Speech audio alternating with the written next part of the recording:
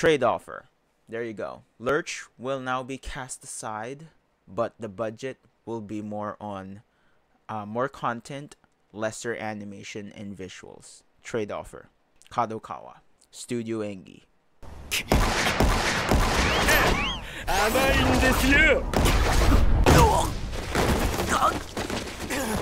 Look up the Marxism theory because we study that. Marxism theory has the superstructure and base. Studio Lerche is the base. Kadokawa is the superstructure. They gain profit, but the base is the workers, and that is Studio Lerche. Go ahead and study that theory because that's all you need. It's an eye opener.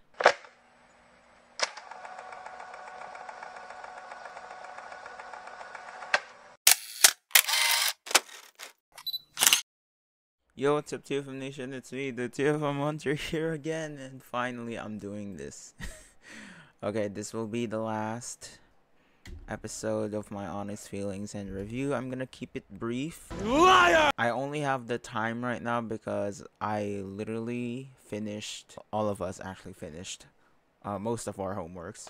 So I have some free time, so yeah and I'm doing this right now. So I have a lot of pending videos, and this is one of them. So I hope you all still enjoy.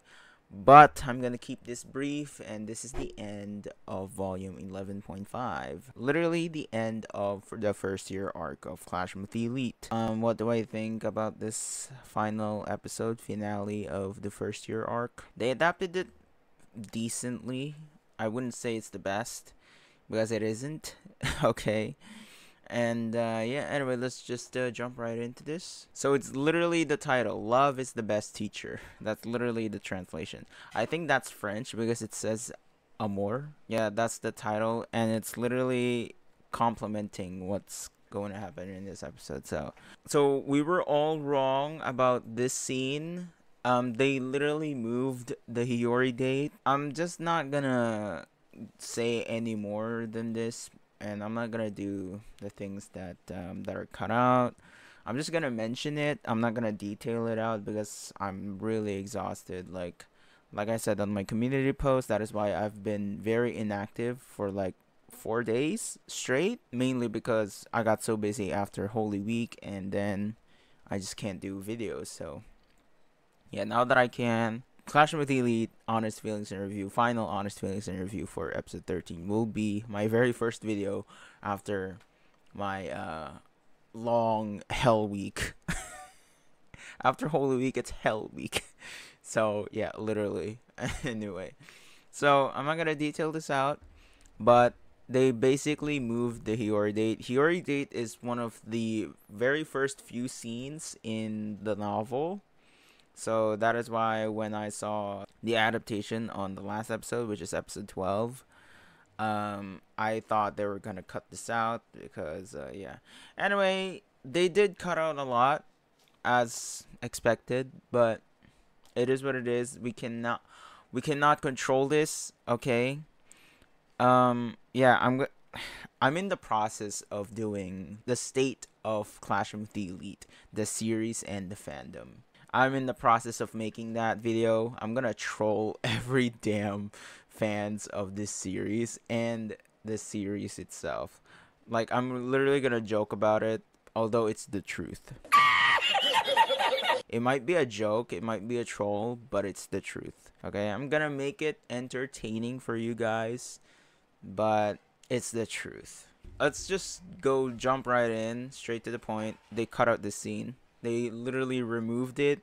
They made Nagumo a total asshole in the anime, and yeah, they literally cut out all of the interactions with Ayanokoji and Nagumo. None of them were adapted. All of them were cut out. They never had an interaction in the anime whatsoever. What the fuck? Not only that, but they also cut out the Hirata scene where uh, Hirata was actually asking Ayanokoji to call him Kiyotaka, first name basis, because yeah, he wants to be his friend. So yeah, people like myself in the past meme it as gay. gay. You'll get it in Japanese culture. You know, it's uh, it's about uh how you want to be close to the other person, you know. So yeah, Hiyori date is in page page 142. This is the Hiyori date. So that is why when I told you guys they jumped to page 300 plus for that Suzune short haired adaptation. yeah, I got I was shocked. So yeah, um, it was decent. It was a decent adaptation for Hiyori Date, and then yeah, Kei Jealousy, yeah, and in the light novel, Kei was actually messed around by Ayanokoji. Ayanokoji literally went ahead and said, "Yeah, I'm gonna play with Kei so that my chance of success for Kei to be dating me is 99% or 100% sure. It's a guaranteed date. Like I can get Kei. you know, that is why they did this and they showed Kei with the necklace too. Ayanokoji gave gave her with the intention of uh, making her jealous by using Hiyori for that date. And then this scene, it was so short. They didn't even address what um, Hashimoto was actually teasing Ryuen about Ayanokoji, but Ryuen was unfazed when he heard Ayanokoji. So it's not a pointless conversation. That is why I was actually shocked that they cut that out. But yeah, at least they adapted Kanzaki, Hashimoto, and Ryuen about Kanzaki's involvement in year two. So yeah, as well as Hashimoto. So yeah, the boys they didn't adapt this illustration, but they adapted the scene. so this one is also short but I cannot believe that they adapted this. This was so unexpected for on my part that they adapted the Ishizaki scene. Like Ishizaki is inviting Ayanokoji to join Class C. They're now Class C again, so yeah, bear in mind. So yeah, and then the Ichinose scene. Golly, this is uh not good. oh hell no! They censored Ichinose's clothes. Knowing Lerche this is not how they do things. This is not how they usually do things with the girls, the waifus of the anime. Keep in mind, Lerche does not do this. Why would they censor Ichinose's clothes? This was their chance to actually show Ichinose's bra. naughty, naughty. I don't want to say it, but yes. Because of the soaked, drenched clothing, you know, wet clothing. And not only that, as you can see on Ichinose's clothing, she has long sleeves, but on the illustration, she is sleeveless. Like as you can see right here, she is sleeveless. This is Lerche's time to actually, you know, use Ichinose as as a fan service bait. But no, they didn't. And then they mostly didn't adapt this as good as the light novel as we imagined it to be. So yeah, Ichinose fans were grateful and at the same time not grateful because of the way they adapted this. From what I remember as well, I don't think it was the cheek that Ayanokoji touched Ichinose. I really thought it was the lips. Like that. Like that. Okay, let me go back here because I was shocked. I was shook that Ayanokoji said this. I was like, "Ayo, ayo, ain't no way." They did Ayanokoji and Edge Lord again, and uh, and well, Lerche actually adopted what was in the light novel. well, it's already hinting year two it's hinting year two on as to how Ayanokoji is going to use Ichinose. So I am not gonna go into details about that, but yeah. Yeah, okay, it is in the light novel. I reread it. However, should class be full, I would be the one to finish Ichinose off. oh no. Oh no. As you can see, they adapted that they adapted an edgy line. Okay, so uh, what will happen to Class in the future? Even though there were many things to be pessimistic about, the future had yet to be determined. Yeah. Okay, so they adapted that faithfully. yeah. See, okay, let me read this part. When I moved, Ichinose reacted strongly, almost to an excessive degree, looking up looking up at me. I moved over Ichinose's side and sat down, catching sight of her gaze. From her eyes, it looked like she wanted to run away. Uh, Ayanokoji-kun?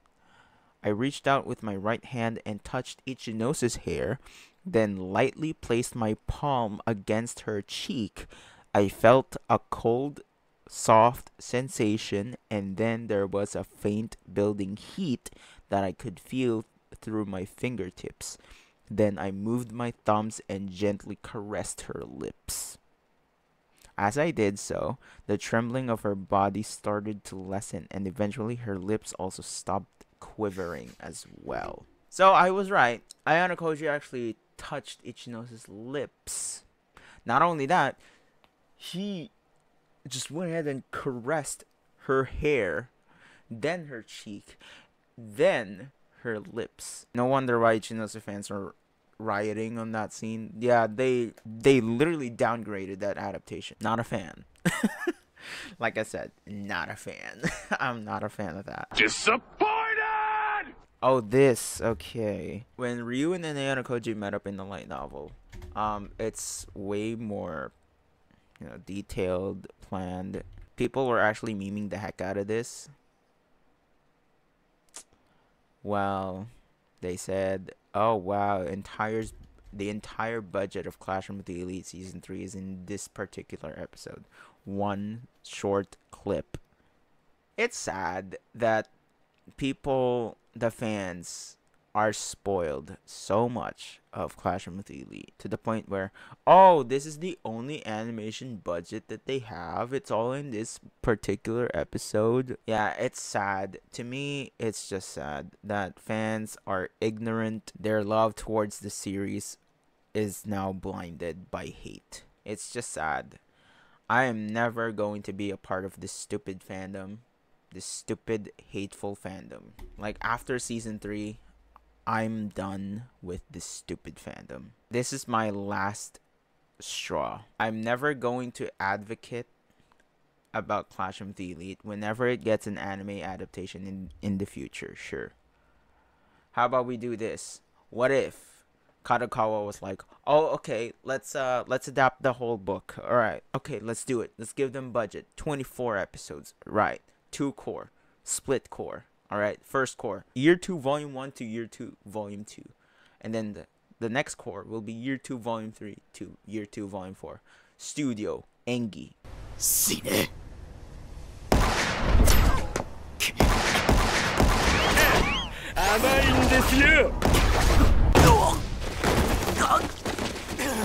You know Studio Engi? The one that did the detective is already dead. I'm not trashing Studio Engi. I know they did um the isekai comedy anime. I like that, but if you've seen The Detective is Already Dead, that one deserved so much better. It got butchered by Studio Engi. The animation is so bad, like it's below average. Clash of the Elite is not even an average animation. It's almost average, but a bit above than average. It's not more than above average, but it is slightly a bit above average. So, trade offer. There you go. Lerche will now be cast aside, but the budget will be more on uh, more content, lesser animation, and visuals. Trade offer. Kadokawa. Studio Engi. That's right. What other studios do you want this to get animated by? How about um, other lesser famous studios that are actually small? And then let's set a deadline for these workers. Let's exploit them so that we garner more money, we gain more money. So that we can rip them off, we can rip the workers off. They get overwork, but we don't get to pay them much it's just the sad reality, man. You have no idea what's inside the entertainment industry. The reason why I'm studying film is also because of my love and passion for filmmaking, and at the same time, for me to actually open my eyes in the entertainment industry and the film world. Here's what I love about my perspective in Clash of the Elite is that I am not I am I am never backing down my point of view and my position as a part of the media uh, on how they adapt source materials, okay, in the industry. At the same time, a fan of the source itself. I will understand and I can understand what the workers are going through and at the same time what as a fan I expect and my impression of the adaptation. Okay? It's an expectation as a fan and at the same time an understanding as a professional.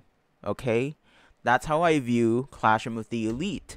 But this stupid fandom, I'm sorry I'm rioting right now. This stupid fucking fandom is complaining more and more and more without knowing shit about entertainment industry. And it just sucks. Back in the day when I watched season 2, I had no idea about the production Studio Lerche was going through. That is why when I said, "Oh, wow, dog shit animations." Wow, slideshows. Didn't you see? They outsourced a lot of episodes. Majority of the episodes in season 2 were outsourced. Not because of their budget, but because of time. They had a limited time because they have a date, a set date for the schedule of the anime. But they don't have enough time to polish the anime.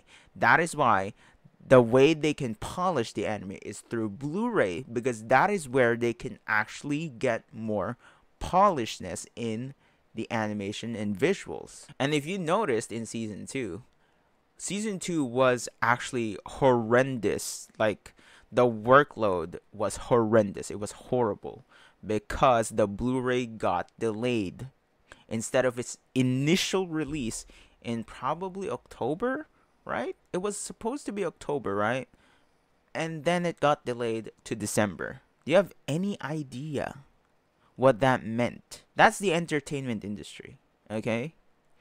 Plus, Studio Lerche is I can really sympathize with Studio Lerche, what they're going through right now because they want the studio want to meet the fans' expectations but at the same time, the given amount of time that they were given by the producer, Kadokawa, and the episode limitations that they were given by Kadokawa is not enough. Because they're not the boss. They cannot control the anime when it comes to, oh, yeah, um, uh, uh, how many books do you want me to adapt in one season with only 13 episodes? Oh yeah, adapt five of these books. Yeah, in one season. Yeah, all of them have 400 or 300 plus pages. Almost 500 pages each book, by the way. Yeah, go ahead and adapt that Studio Lerche Yeah. Kadokawa, us Kadokawa members, producers, gain more money from you. See what I mean? Sorry, the video is going to be a rant. That's why it's long long video. That's why when when I will do the state of Clash the fandom in the series, I will give out all of my emotions in that video. Back to the video, uh, shortened but also greatly adapted, but they cut out where Ryuen said, and Koji is the monster. Is a monster. There you go. And I can't believe they didn't cut the scene out, but yeah was pretty important for Matsushita as well. because Matsushita was the one who gave Ayanokoji the push. And then Sato as well for a year two. And then Shinohara, they teased it a bit. It's about Ike and Shinohara, so yeah. And then the Tsukishiro talk, it was so short. I expected this. They didn't even give us a hint of, you know, like a silhouette of the students. But anyway the White Room students that will be in year two, which will be Yanakoji's Kohai. And then, yeah, the Matsushita scene. This scene was altered or changed. Like I said, in the light novel, it wasn't like this. It was supposed to be like this. It wasn't supposed to be a phone call, but it was supposed to be like this. Before Suzune got to talk to Manabu. This bet was so short and plus it's not fleshed out in detail because in the last episode where Ichinose talked to Ayanokoji and Suzune, Ichinose actually pointed out that Ayanokoji or their class wants uh wants to challenge class A in the uh the final exam of the first year. That's where Suzune was like, "What the fuck, man? you were the one who ordered Ichinose." yeah, that is why she got triggered. She got ticked off. That is why she wants to test Ayanokoji's abilities, and yeah, it wasn't fleshed out. I pointed that out in uh, my honest feelings interview in the last one, but you can just read the novels. Like I said, this is so short, and plus it's altered. It's on the phone call, but yeah. Then the confession scene. I can't believe they actually gave a lot of uh, uh, a runtime, screen time for this scene alone. The confession scene was actually very, very good. It was adapted very well. And then people generalize this. It does seem manipulative. It is, yes, because it's because Ayanokoji said textbook. Um, he did actually say that in the light novel, but Ayanokoji wants to change, and that is why when I was watching Anime Watchers, it's a 50-50. Okay, the the first half or the half, the other half, they understand what this scene or what this moment meant for Ayanokoji's character because Ayanokoji wants to change. And that's why when he said, I'll find myself in the future where that's not the case, where Ayanokoji will trash Kei when she's done, when she has served her purpose as the love textbook, the romance book that he needed to learn. So, yeah. That's why when he said, I'll find myself, or I'll find myself in the future where that's not the case, where he won't set aside Kei but actually love her to the end. So yeah, that's why when he said, "Let's pray" or "Please, I prayed" in the Musasia, and plus I think that's actually the real subtitle because from what he said, "Doka inoro," please, I prayed, and then yeah, that in this I prayed that in this moment, holding someone precious in my arms, that I'm smiling. But as you can see, he isn't smiling people have actually misunderstood or actually memed the heck out of this instead of actually understanding what this scene is supposed to be. The other half understands, but the other half, like the other 50 that I mentioned earlier, was memeing the heck out of this. He's not smiling. Oh my god, he's using Kei as a textbook. Oh my god, typical edgy and anime character. Typical edgy Ayanokoji, you know. They just don't get it. Ayanokoji wants to change.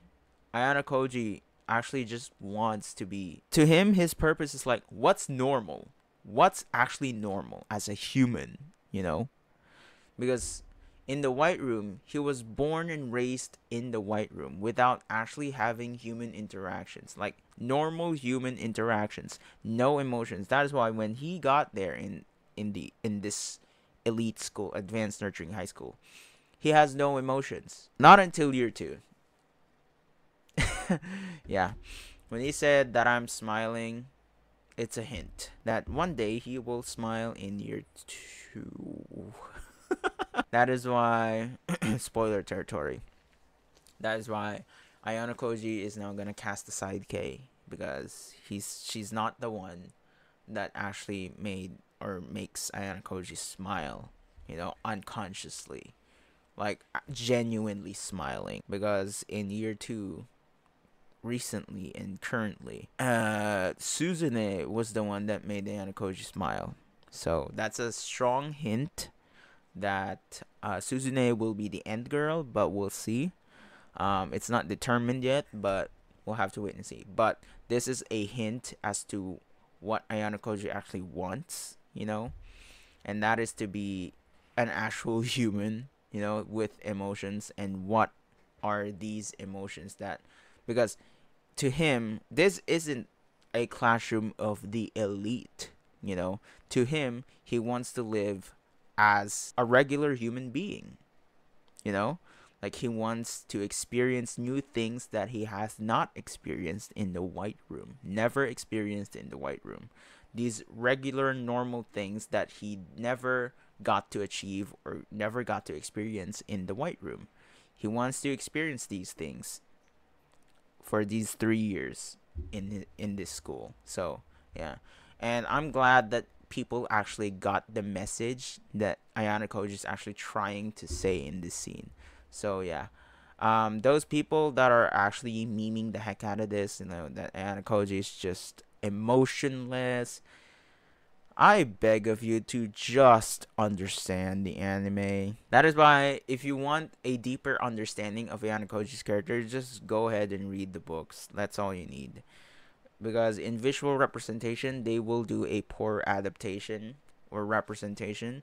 That is why it's a very misleading at times. So, yeah the one line where he actually always says koredei or that should do it. I was one of the first people that actually memed that line.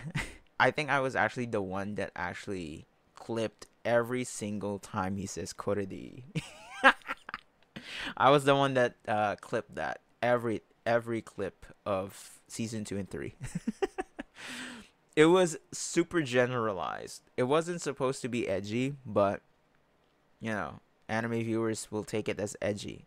But yeah, anyway, they did well with the adaptation, but yeah, on this confession scene. But I would have to give this particular episode once again an 8.5 out of 10.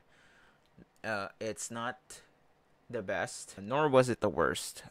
Um, I think my poor rating or score would still be the Tsukishiro scene. I just overhyped that for no reason after that because yeah it was disappointing afterwards when we saw the adaptation but um yeah anyway though i'm glad that first year arc is done because to me first year arc was a wild ride to me it came full circle so yeah that's why to me it's it's very special that's why I adore Clash of the Elite Year 1. Year 2 right now is a mess, but we'll see on how they conclude that.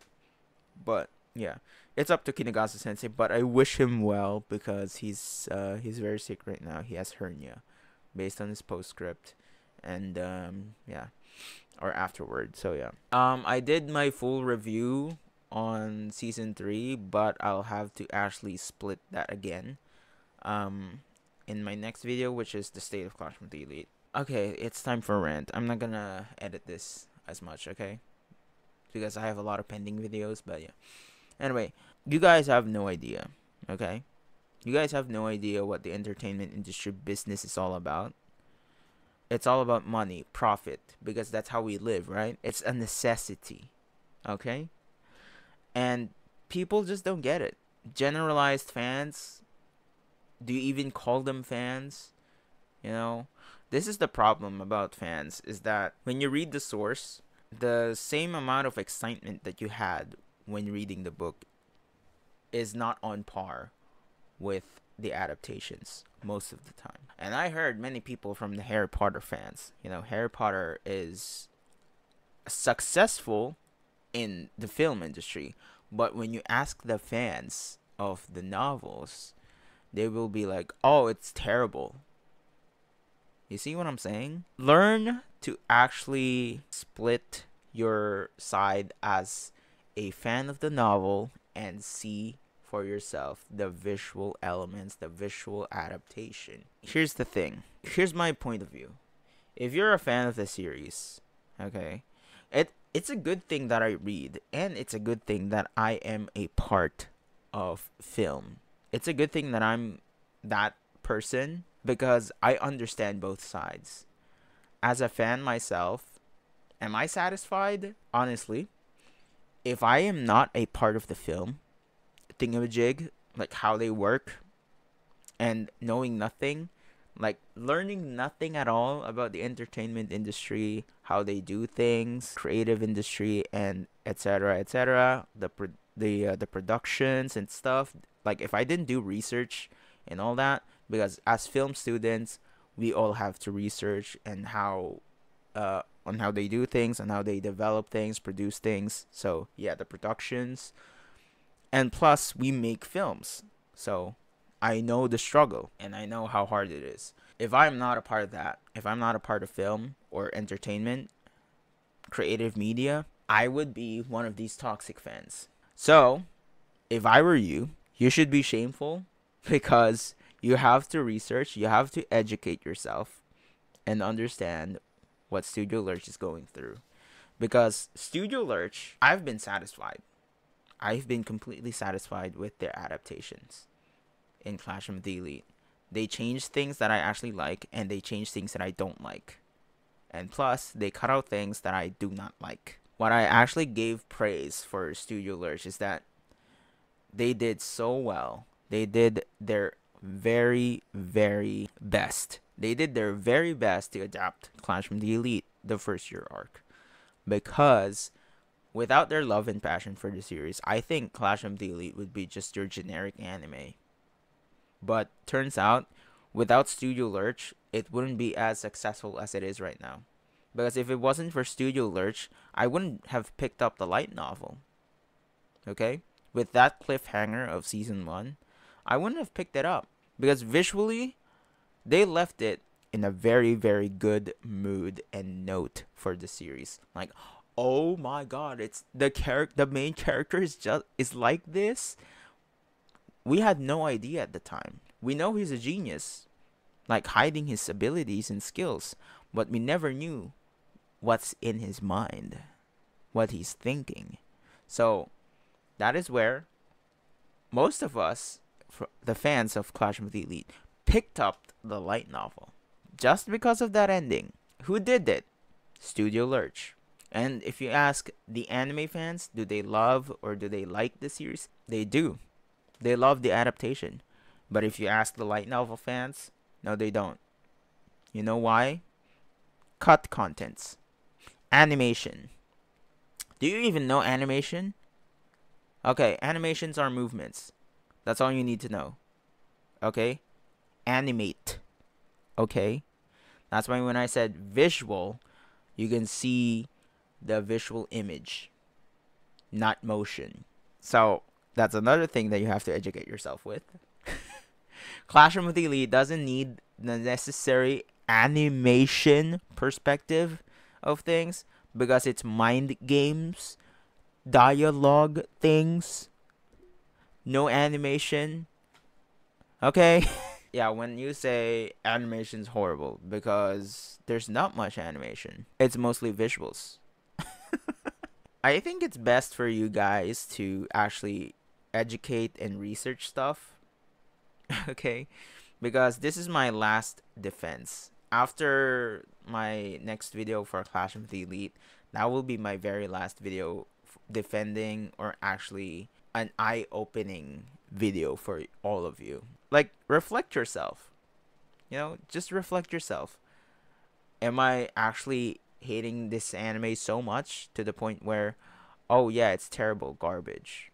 You know, and plus you're actually showing that you will never be satisfied with anything at all. It's actually sad that the fan the fans or the fandom has turned out like this. There's a lot more for me to say, but it's going to be a long ass video, but unfortunately, I I just have to stop right now because no one will actually listen. You know, the haters will hate every single time.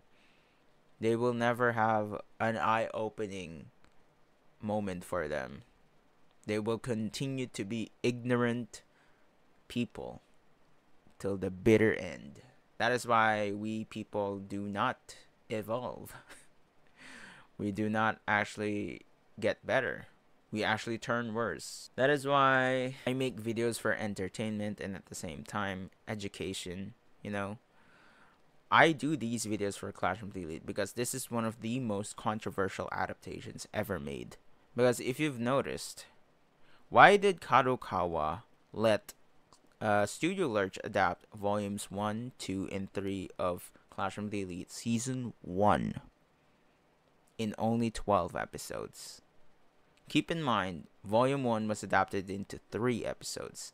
Volume 2 was adapted into 3 episodes. Then Volume 3 is adapted into 5 episodes. Do the math, it's 11 episodes. So, the filler episode is Volume 4.5.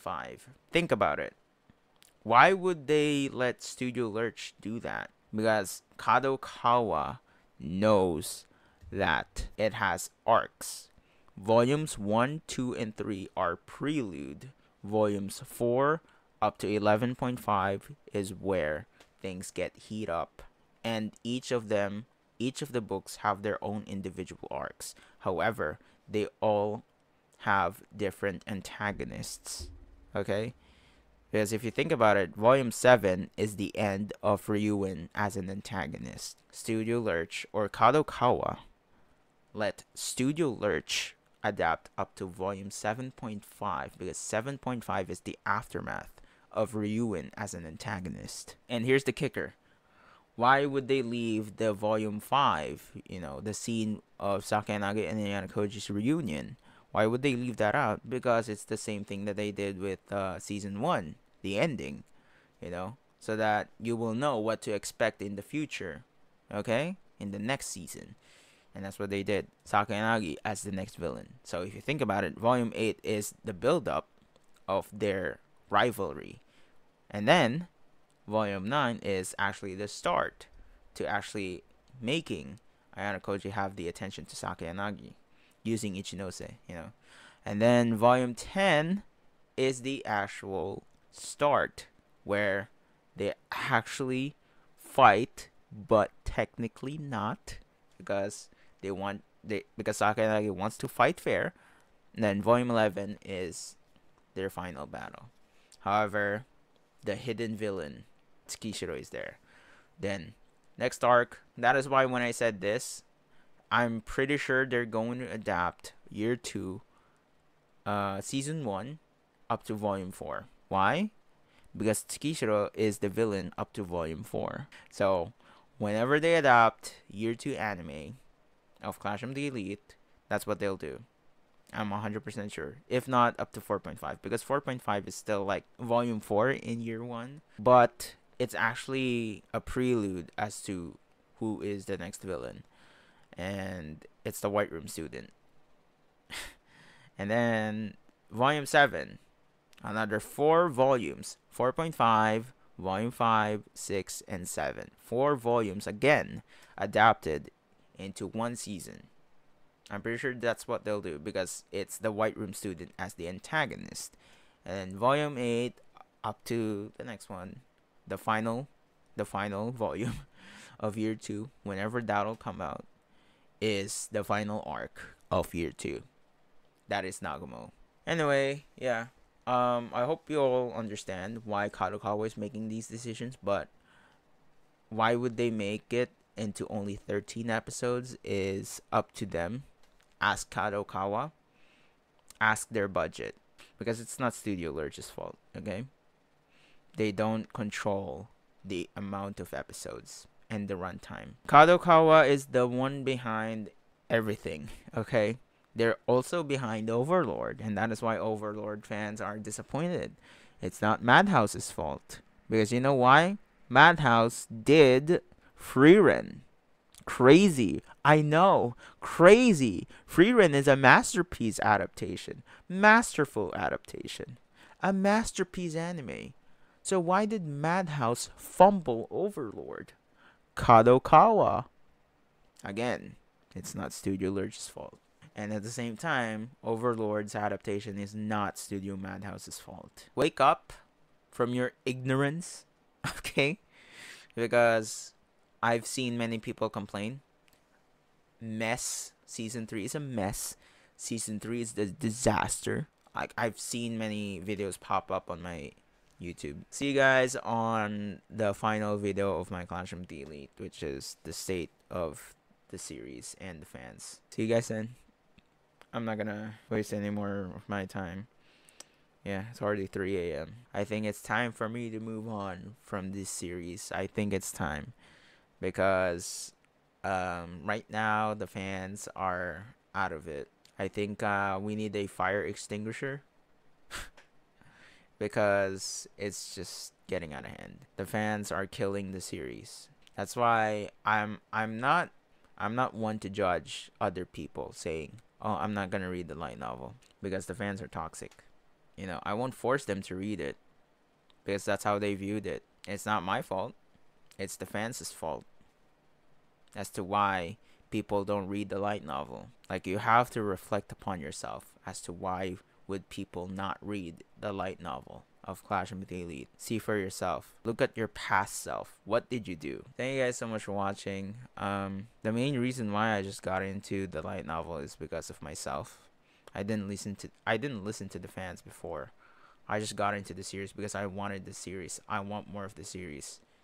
So yeah, but seeing the fans right now of Clash of the Elite, I'm done. Thank you guys so much for watching. I'll catch you guys on my final video. So yeah, thank you for this wonderful journey. But yeah, I know people will still hate the anime forever and ever. The hate won't go away. Bashers won't go away. Even I have some haters as well. No matter what I do, I always will have haters. So yeah, nothing I can do about that. Like I said, there's nothing I can do as well. I can't control these people. Just like Studio Lerche, they cannot control Kadokawa because they're not the boss. You have to actually also look up the Marxism theory because we study that. Marxism theory has the superstructure and base. Studio Lerche is the base. Kadokawa is the superstructure. They gain profit, but the base is the workers, and that is Studio Lerche. Go ahead and study that theory because that's all you need.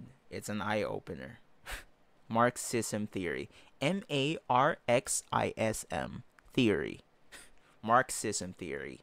It's a long theory, but to me, it opened my eyes into the world of industry and actually the real world, you know, how business works. So yeah. Thank you guys so much for watching. That's my last defense. yeah. See you guys then. Peace out.